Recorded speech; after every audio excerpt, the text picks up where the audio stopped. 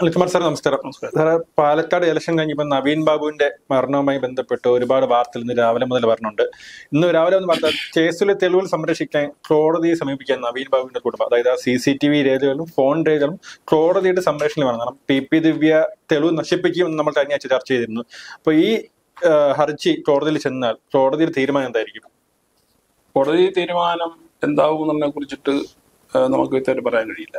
പക്ഷെ ഇപ്പോ നവീൻ ബാബുവിന്റെ കുടുംബം സ്വീകരിച്ച നടപടി എന്തുകൊണ്ടും വളരെ അത്യാവശ്യമായ ഒന്നായിരുന്നു അത് ഇച്ചിരി വൈകിപ്പോയോ എന്നൊരു സംശയം എനിക്ക് കാരണം ഈ ഈ കേസിൽ ഏറ്റവും സുപ്രധാനമായ ഉള്ളത് തെളിവുകളാണ്. അനുകൂലമായ സാക്ഷികൾ ഇല്ല എന്നുള്ളതാണ് ഈ കേസിന്റെ മറ്റൊരു പ്രശ്നം.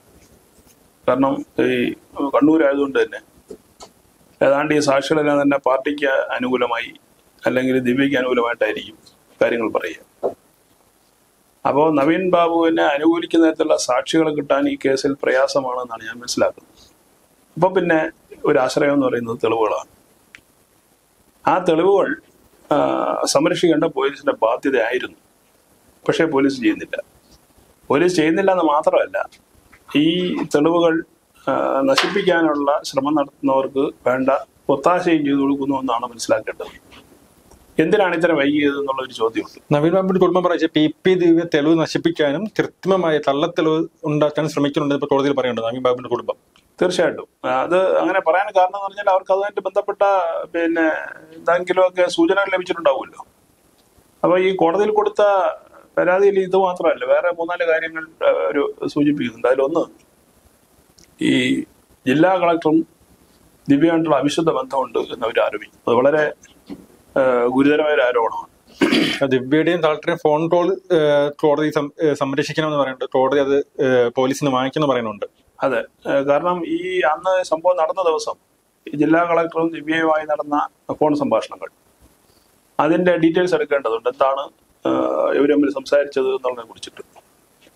അത് വലിയൊരു പിന്നെന്താണ് ഒരു തെളിവായി ഒരുപക്ഷെ കേസിന് സഹായിച്ചേക്കും.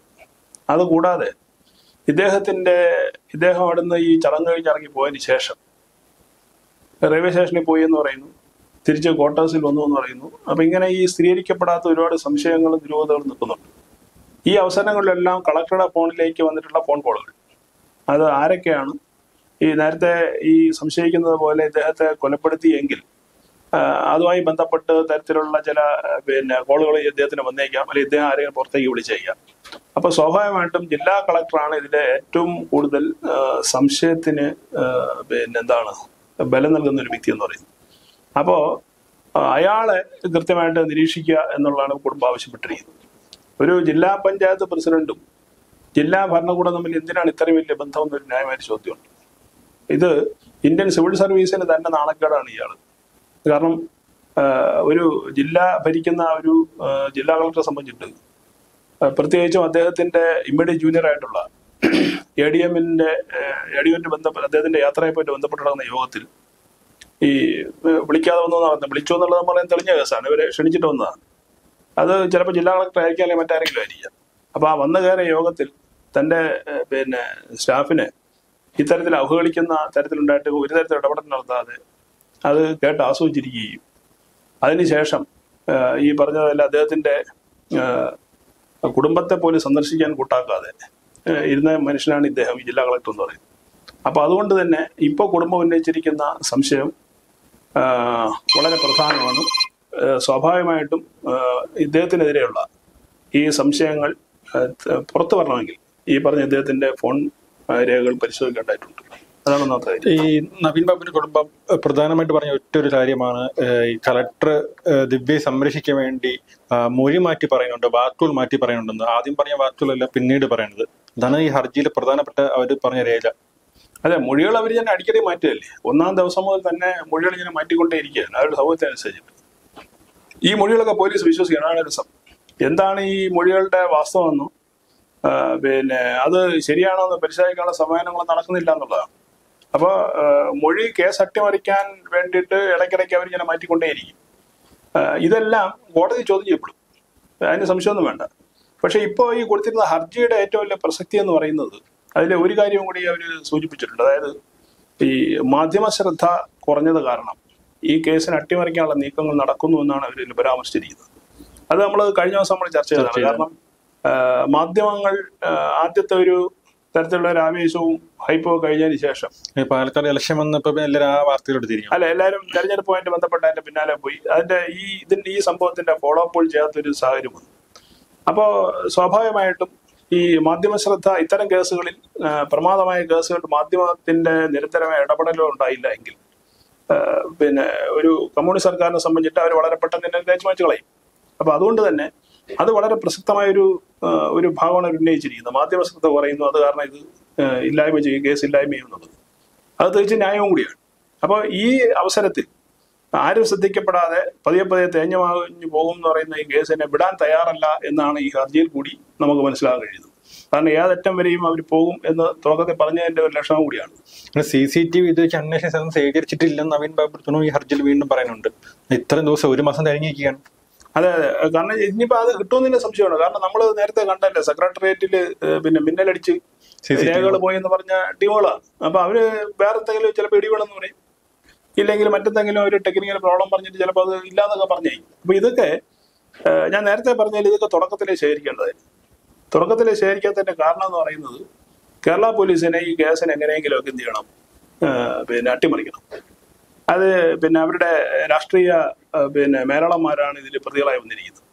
അപ്പോൾ അത് അട്ടിമറിച്ചില്ല എങ്കിൽ സ്വാഭാവികമായിട്ടും അവരെ ബാധിക്കും. അവരുടെ സർവീസിനെയോ ഭാവിയിൽ അവരുടെ പ്രൊമോഷനെയൊക്കെ ബാധിക്കും എന്നുള്ളതുകൊണ്ട് അവർ അവരുടെ കാര്യം നോക്കുന്നതല്ലോ അപ്പോൾ അവിടെ ഈ പറഞ്ഞതുപോലെ ഈ മാനവികതയും അതുപോലെ തന്നെ ഈ മനുഷ്യനാകണം എന്നുള്ള മുദ്രാവാക്യമൊന്നും അവർക്കൊരു വിഷയമല്ല അപ്പൊ സ്വാഭാവികമായിട്ടും ഈ കേസ് അട്ടിമറിക്കപ്പെടും എന്നുള്ള വലിയ ആശങ്കയിലായിരിക്കും കുടുംബം ഹർജി കൊടുത്തത്. ഇനി ഹർജി കൊടുത്ത കോടതിയെ നമ്മൾ അഭിലാഷ് ആദ്യം ചോദിച്ചല്ലോ എന്തായിരിക്കും എന്നുള്ളത്. അത് നമ്മൾ ചിന്തിക്കേണ്ട ഒരു വിഷയമാണ്. കാരണം ഈ പ്രതിയായിട്ടുള്ള ദിവ്യ കണ്ണൂരിൽ നിന്ന് പുറത്തു പോലെന്ന് പറഞ്ഞ കോടതിയാണ്. കോടതിയിലാണ് ഹർജി കൊടുത്തിരിക്കുന്നത് അവിടെയാണ് ഹർജി. അല്ല അവിടെ കൊടുക്കാൻ പറ്റുള്ളൂ കാര്യം നടക്കുന്ന സ്ഥലം അവിടെയാണല്ലോ. അപ്പോൾ ആ, സ്ഥലത്ത് അല്ലെങ്കിൽ ആ സെഷൻസ് കോടതിയിൽ എങ്ങനെയായിരിക്കും ഈ ഹർജി പരിഗണിക്കുക എന്നുള്ള ഒരു ചോദ്യമുണ്ട്. പക്ഷെ അതിന്റെ മറുവശവും കൂടിയുണ്ട്.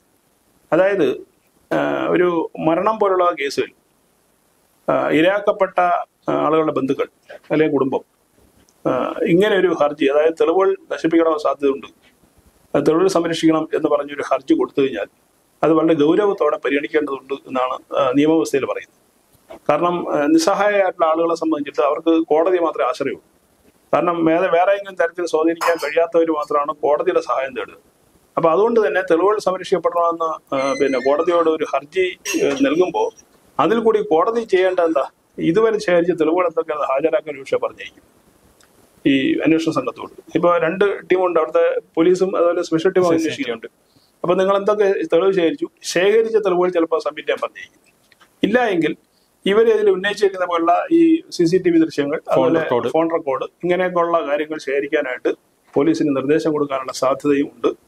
പക്ഷെ അത് എന്താണ് ഈ ഡിപ്പെൻസ് ഓൺ എങ്ങനെയാണ് ഈ കേസിനെ ഇവർ കൈകാര്യം പ്രോസിക്യൂഷൻ കൈകാര്യം ചെയ്തതനുസരിച്ചിരിക്കും ഇതിന് മറ്റൊരു പ്രധാനപ്പെട്ട പോയിന്റ് ഉണ്ട് ഈ ഹർജിയിൽ പറയുന്നത്. നവീൻ ബാബു കുടുംബം കോടതിയിൽ ഹർജിയിൽ പറഞ്ഞ മറ്റൊരു പ്രധാനപ്പെട്ട പോയിന്റ് ആണ്. പ്രശാന്ത് ദിവ്യ രക്ഷിക്കാൻ വേണ്ടി തള്ളത്തെറിന് ശ്രമിക്കുന്നു അതായത് ഇപ്പൊ ഈ ഹർജിയിൽ ദിവ്യയുടെ പേരും കളക്ടറുടെ പേരും പ്രശാന്തിന്റെ പേരും പറയുന്നുണ്ട്? ഈ പ്രശാന്ത് ശ്രമിക്കുന്നു എന്ന് പറയുന്നത് നമ്മൾ ഈ പറയുന്ന ഒരു അർത്ഥമില്ല നമ്മൾ പ്രശാന്ത് എന്നത് കേവലം ഒരു ഒരു ഇതാണ് ഡമ്മിയാണ്. ഒരു ഡമ്മി മാത്രമാണ്. എവിടെയും എടുത്ത് വെക്കാൻ പറ്റുന്ന ഒരു കരുവാണ് ഇയാളെന്ന് പറയുന്നത്. അപ്പൊ അയാളെ ഇവർക്ക് ആവശ്യമാണ്. കാരണം ഇവർ പറഞ്ഞ ഈ പിന്നെ കള്ളപ്രചരണങ്ങളെ സാധൂകരിക്കാൻ ഇപ്പൊ അവരുടെ പക്ഷത്തുള്ള ആകെയുള്ള ഒരു ഒരാൾ പ്രശാന്തൻ എന്ന് പറഞ്ഞ വ്യക്തിയാണ്. അപ്പോൾ അതുകൊണ്ട് തന്നെ അയാൾ ഉപയോഗിച്ച് പരമാവധി തരത്തിൽ ഇതിനെ ഈ എന്താണ് റൂട്ടുകൾ തിരിച്ചിരിച്ചു വിടാനുള്ള ഒരു ശ്രമം രണ്ട് ഒപ്പ് പറഞ്ഞ് ഉണ്ടെന്ന് പറഞ്ഞ ആളാണ്. അതെ രണ്ട് ഒപ്പുണ്ടെന്ന് പറഞ്ഞ ആളാണ്. അപ്പൊ അതുകൊണ്ട് തന്നെ പിന്നെ വളരെ എന്താണ് ഈ നമുക്ക് ഒരിക്കലും വിശ്വസിക്കാൻ കഴിയാത്ത രീതിയിലെ കാര്യങ്ങളെയൊക്കെ പല രൂപത്തിലേക്ക് വളച്ചൊടിച്ചു കൊണ്ടുപോകാനുള്ള സാധ്യത ഇതിൽ കാണുന്നുണ്ട്. അപ്പൊ അതുകൊണ്ട് പ്രശാന്തൻ ഈ കേസിൽ വലിയ പ്രസക്തിയൊന്നുമില്ല. പ്രശാന്തനെ കൃത്യമായിട്ട് പോലീസ് വിളിച്ച് കാര്യമായ രീതിയിൽ ചോദിച്ചു കഴിഞ്ഞാൽ കാര്യങ്ങൾ കിട്ടേണ്ടതേ ഉള്ളൂ. പക്ഷെ അത് ചെയ്യില്ലല്ലോ കാരണം പുള്ളി വളരെ വേണ്ടപ്പെട്ട ആളാണ്. പാർട്ടിക്ക് വേണ്ടപ്പെട്ട ആളാണ്. അതുകൊണ്ടാണ് അയാളെ കാര്യമായ രീതിയിൽ ചോദിക്കാതെ പോകുന്നത്. അപ്പൊ ഇതൊക്കെ ഈ കുടുംബം തിരിച്ചറിഞ്ഞു. പിന്നെ മറ്റൊരു കാര്യം. ഞാൻ നമ്മൾ മുമ്പൊരിക്കൽ ഒരു ചർച്ചയിൽ പറഞ്ഞിരുന്നു. അതായത് ഈ സി പി എമ്മിന്റെ പത്തനംതിട്ട ജില്ലാ കമ്മിറ്റി കുടുംബത്തോടൊപ്പം നിൽക്കുന്നു എന്ന് ജനങ്ങളുടെ ഇടയിൽ ഒരു ഒരു എന്താണ് ഒരു പിന്നെ ഒരു ശ്രമം ഉണ്ടാക്കി അല്ലേ? അവരോട് അവരോടൊപ്പമാണ് കുടുംബത്തോടൊപ്പമാണ്. പോകണം എന്നാൽ അവിടെ കണ്ണൂർ ജില്ലാ കമ്മിറ്റി ആണെന്ന് ചർച്ച ചെയ്തത്. അന്ന് ഞാൻ പിന്നെ ചർച്ചയിൽ പറഞ്ഞിരുന്നു തെരഞ്ഞെടുപ്പ് വരെ മാത്രമേ പത്തനംതിട്ട ജില്ലാ കമ്മിറ്റി ഒപ്പം ഉണ്ടാവൂ എന്ന് പറഞ്ഞു അഭിലാഷ് നോക്കി കഴിഞ്ഞ എത്ര ദിവസമായിട്ട് ഈ പത്തനംതിട്ട ജില്ലാ കമ്മിറ്റി ഇതിൽ എന്ത് ഇടപെടൽ നടത്തി? ഒന്നും മിണ്ടില്ല. ഒരിടപെടലും ഇല്ല. ഒന്നും ചെയ്യില്ല കാരണം ഇനി എന്തെങ്കിലും പറഞ്ഞു കഴിഞ്ഞാൽ അവർക്കെതിരെ പാർട്ടി നടപടി ഉണ്ടാവും. ഇല്ലെങ്കിൽ പാർട്ടി സെക്രട്ടേറിയറ്റ് നിന്ന് കൃത്യമായിട്ട് ജില്ലാ സെക്രട്ടറി അടക്കം നിർദ്ദേശം പോയിട്ടുണ്ട്. ഇനി മേലാൽ ഇതിനെക്കുറിച്ച് മിണ്ടരുത്. നിങ്ങൾ പറഞ്ഞത് മതി. അത് നമുക്ക് ഗുണം ചെയ്തിട്ടുണ്ട്. ഇനി നിങ്ങൾ അതിന് മിണ്ടണ്ട എന്നൊരു നിർദ്ദേശം കൊടുത്തിട്ടുണ്ടാവണം. ഇനി ആ നിർദ്ദേശം അവഗണിച്ച് അവിടുത്തെ ജില്ലാ സെക്രട്ടറി അല്ലെങ്കിൽ പാർട്ടിക്കാരും ഒക്കെ മുമ്പോട്ട് പോവുകയാണെങ്കിൽ അവർക്കെതിരെ പാർട്ടി നടപടിയെടുക്കും. ഒരിക്കലും അവർ ആഗ്രഹിക്കില്ല. മരിച്ചുപോയ ഒരാളിന് വേണ്ടിയിട്ട് ഇനി ഇതുവരെ കൊണ്ടുവന്ന ഒരു വളർത്തിയെടുത്തുന്ന ഒരു സംവിധാനം നഷ്ടപ്പെടുത്തേണ്ടതായിരിക്കും ഇവർ കരുതുക. അപ്പൊ അതുകൊണ്ട് തന്നെ അതൊരു പൊള്ളത്തരമാണെന്ന് തുടക്കത്തിലേ നമുക്ക് തോന്നിയിരുന്നു. ആ വഴിയിലേക്കാണ് കാര്യങ്ങൾ പോകുന്നത്. അത് മറ്റേ ഈ ഹർജി കൊടുത്തതിൽ ഒരു കാര്യം കൂടെ മനസ്സിലാക്കേണ്ടത്. ഈ പത്തനംതിട്ട ജില്ലാ കമ്മിറ്റി കുടുംബത്തെ കൈയൊഴിഞ്ഞു ഒന്നും കൂടെയാണ്. അതുകൊണ്ടായിരിക്കുമല്ലോ അവർക്ക് ഹർജി കൊടുക്കേണ്ടി വന്നത്. ഒറ്റക്കെട്ടായിട്ട് ഞാൻ നിങ്ങളോടൊപ്പം ഞങ്ങളുണ്ട് എന്ന് പറഞ്ഞുകൊണ്ടിരുന്ന പിന്നെ പാർട്ടി പത്തനംതിട്ടയിലെ പാർട്ടി അവരെ കൈയൊഴിഞ്ഞു വന്ന് ഈ കുടുംബം മനസ്സിലാക്കിക്കൊണ്ടാണ് അവർക്ക് ഇങ്ങനെ ഹർജി മുമ്പോട്ട് പോയിട്ട് ഹർജി കൊടുക്കാൻ താമസിയായിട്ട് സാധനം തോന്നുന്നുണ്ടോ തീർച്ചയായിട്ടും താമസിച്ചു ഇതിന് മുമ്പേ കൊടുക്കേണ്ടതായിരുന്നു. കാരണം ജാമ്യം കിട്ടിയ സമയത്ത്. ജാമ്യം കിട്ടിയ ഇവരെ ഇവരെ ജാമ്യം കിട്ടിയ സമയത്ത് തന്നെ അടിയന്തരമായ ഹർജി കൊടുക്കേണ്ടതായിരുന്നു. കാരണം ഓരോ ദിവസവും വളരെ വിലപ്പെട്ടതാണ്. ഗോൾഡൻ അവേഴ്സ് ആണ് വളരെ നഷ്ടപ്പെട്ടു പോകുന്നത്. മറുപക്ഷത്താണെങ്കിലോ വളരെ ശക്തിയിലുള്ള ആളുകളുമാണ് അപ്പൊ അതുകൊണ്ട് തന്നെ ഇത് നേരത്തെ ഒരു ഇടപെടൽ വേണ്ടിയിരുന്നു. എനിക്ക് തോന്നുന്നു ഒരു പക്ഷേ ഇവരെയൊക്കെ വിശ്വസിച്ചിട്ടുണ്ടാവണം ഇവർ. പാർട്ടി. ഈ പാർട്ടിയും അവിടെ കൂടെ നിൽക്കുന്ന ആളുകളെയൊക്കെ ചിലപ്പോൾ വിശ്വസിച്ചുണ്ടാവും നമുക്ക് നോക്കാം സർക്കാർ എന്തെങ്കിലും ചെയ്യുമെന്നുള്ള പ്രതീക്ഷയായിരുന്നു. പക്ഷെ ഒന്നും നടക്കുന്നില്ലല്ലോ. ഒന്നും നടക്കുന്നില്ല എന്ന് മാത്രമല്ല കഴിഞ്ഞ ദിവസം പറഞ്ഞതല്ലേ തന്നെ ദിവ്യ അവിടെ അത്യാവശ്യം ചെയ്യുന്നു ജില്ലാ പഞ്ചായത്തും ഭരിക്കുന്നുണ്ട്. മറ്റേ സ്ത്രീ രത്നകുമാരി ചോദിച്ചത് വേറെ ഡമ്മിയാണ് അവിടെ ഇപ്പോഴും ഭരിക്കുന്നതെന്ന് പറയുന്നത് ദിവ്യ തന്നെയാണ്. രത്നകുമാരി ജയിച്ച് അന്ന് തന്നെ ഫേസ്ബുക്കിൽ പോസ്റ്റ് ഇട്ടു. ഇനി എന്തൊക്കെ കാര്യം ചെയ്യണം എന്ന് പറഞ്ഞിട്ട് ഫേസ്ബുക്ക് പോസ്റ്റ് ഇട്ടിരിക്കുകയാണ്. അതെ അതെ. അവർ കൃത്യമായിട്ടൊന്ന് ദിവ്യ ഒരു പോസ്റ്റ് ഇട്ടല്ലോ. അവരെന്തൊക്കെയാണ് ജില്ലാ പഞ്ചായത്തിൽ ചെയ്ത് കൂട്ടിയെന്ന് ഇട്ടിട്ടുണ്ട്.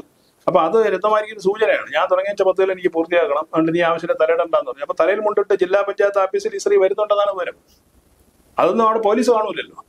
പോലീസ് നമ്മ വല്ല ഏറ്റവും നല്ല ഉദാഹരണം ഈ മുഖ്യമന്ത്രി യാത്ര ചെയ്ത ബസ്സിൽ പിന്നെ മുഖ്യമന്ത്രിയുടെ തൊട്ട് മുമ്പായിട്ട് ഈ പിന്നെ കേശവക്കാരെയും യൂത്ത് കോൺഗ്രസിനെയും തല തല്ലി പൊളിച്ചിട്ട് അത് ഞങ്ങൾ കണ്ടില്ല എന്ന് പറഞ്ഞ പോലീസാണ്. തെളിവില്ലെന്ന് പറയുമ്പോൾ പോലീസ്? തെളിവില്ല. തെളിവില്ല. അങ്ങനെ സംഭവം നടന്നിട്ടില്ല എന്ന് പറഞ്ഞ കേരള പോലീസാണ് അപ്പൊ അവരെ സംബന്ധിച്ചിട്ടൊന്നും വലിയ അത്ഭുതമൊന്നുമില്ല. അത് സ്വാഭാവികമായിട്ട് ഇവിടെ അങ്ങനെയൊക്കെ തന്നെ സംഭവിക്കും. എന്തായാലും നവീൻ ബാബുവിന്റെ കുടുംബം ഹൈക്കോടതിയിൽ ഹർജി കൊടുത്തിരിക്കുകയാണ്. ആ ഹർജിയിൽ ഒരു നടപടി ഉണ്ടാകുമെന്ന് പ്രതീക്ഷിക്കാം. നന്ദി സാർ.